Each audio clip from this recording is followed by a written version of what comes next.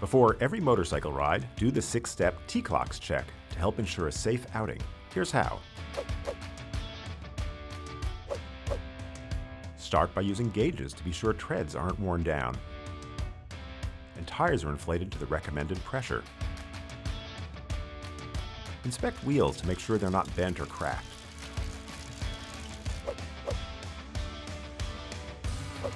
Next, inspect cables for fraying and check that the brakes grab firmly. Also, be sure the throttle moves freely and fully snaps closed.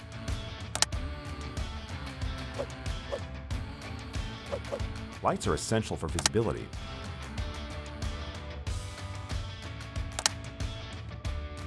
Check your headlight, tail lights, brake lights, and turn signals.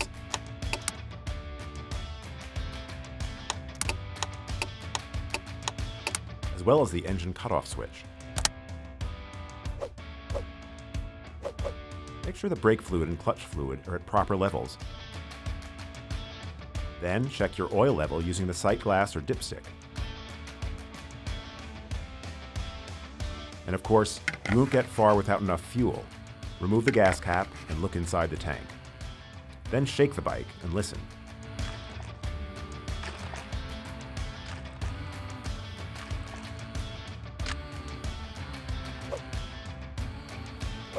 Scan the frame for cracks or any missing nuts, bolts, or screws. If you have a chain drive, check the chain's slack according to your owner's manual.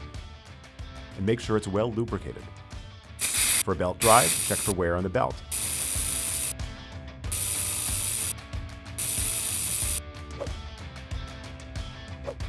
Finally, be sure that the side stand and center stand fold down and spring back into place correctly.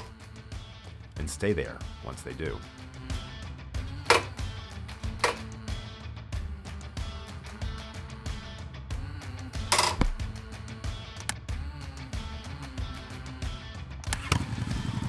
Ride smart.